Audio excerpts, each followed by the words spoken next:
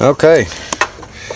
I just put the plastic bag back on there to protect it from the dew and uh, elements for now.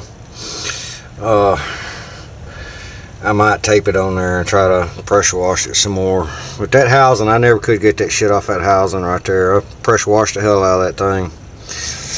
So tomorrow, I'll be ready to start putting a motor in this thing.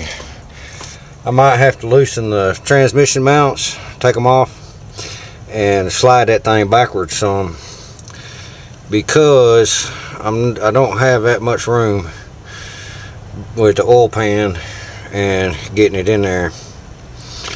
See, uh, now chances are I need to jack the truck up, that's for sure.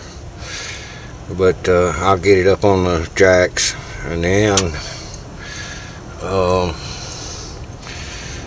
I'll use the hydraulic floor jack and lower the transmission up and down along with the engine hoist and the load leveler and I'll be able to walk it right in that thing.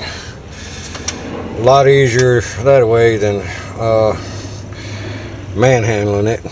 Yeah, it's a little difficult manhandling. but we're almost there. Uh, it's all about